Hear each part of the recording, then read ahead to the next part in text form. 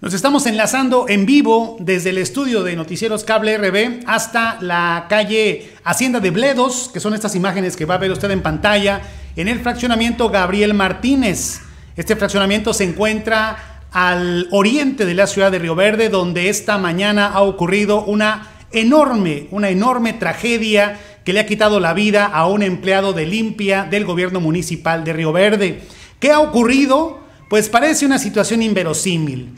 Eh, frente al domicilio 134 de la calle Hacienda de Bledos, pues aparentemente en un bote de basura tiraron en una bolsa una pistola.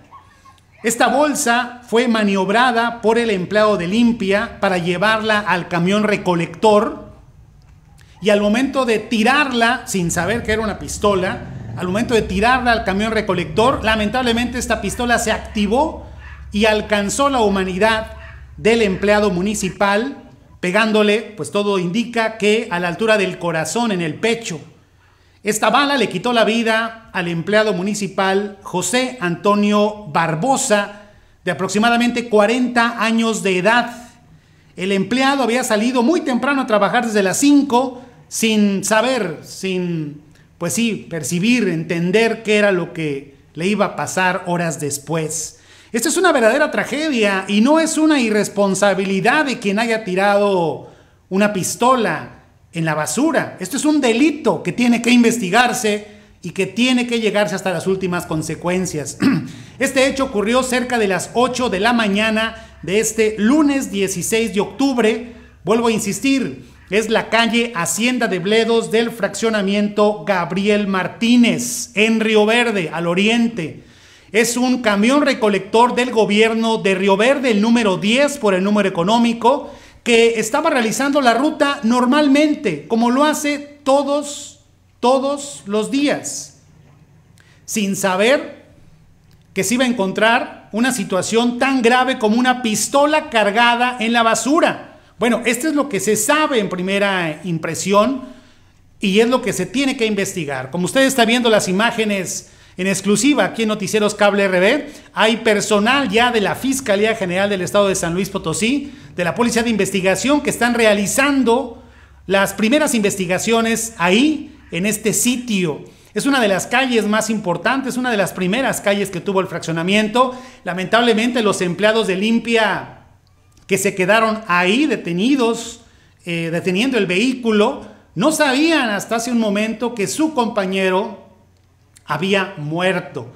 La persona, don José Antonio Barbosa, fue levantado por una ambulancia de la Cruz Roja del lugar, de ahí, de ese sitio, y fue llevado de emergencia al centro médico en el centro de Río Verde. Lamentablemente llegó muerto, de acuerdo a lo que nos ha dicho, nos ha confirmado el oficial mayor Miguel Ángel eh, Flores Gobea. Eh, oficial mayor del Ayuntamiento de Río Verde. Y bueno, pues ya el gobierno de Río Verde se encuentra muy pendiente de la Fiscalía General del Estado para interponer las denuncias que se necesiten o coadyuvar con la autoridad para que esto pueda, pues sí, esclarecerse lo antes posible y saber quién dejó una pistola en un bote de basura y sobre todo cargada.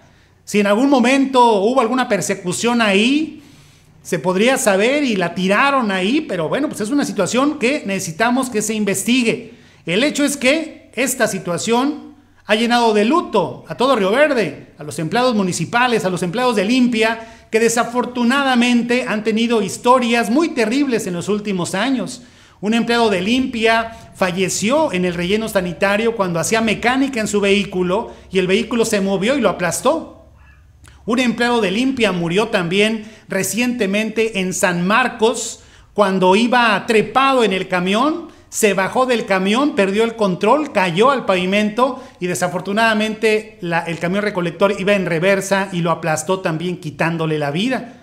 Es un estigma, es mala suerte que están teniendo los empleados municipales que están expuestos porque trabajan en la calle como miles de personas en nuestro país pero en esta ocasión no es una irresponsabilidad, señores y señores. Se trata de un verdadero acto criminal. La persona que haya dejado abandonada una pistola cargada en un bote de basura, porque lo pudo haber encontrado un niño, un adolescente, cualquier persona. Y esto implica también la dificultad eh, el esfuerzo, el sacrificio que tienen los empleados de limpia, que recogen de su casa, de la calle, cualquier tipo de basura, jeringas, venenos, todo lo que tiramos a la calle, queremos que se lo lleven nuestros empleados municipales que hoy están de luto. Ahí se encuentra personal del gobierno municipal, el encargado de limpia, ahí está pues muy de cerca con estas primeras investigaciones, pero lo que es un hecho es que ha muerto, ha fallecido don José Antonio Barbosa,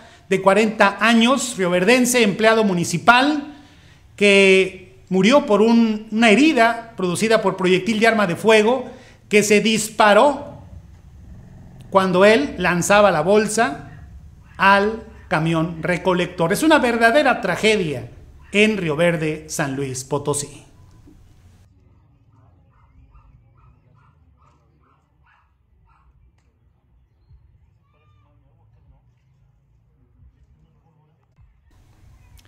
Seguiremos informando aquí desde Noticieros Cable RB.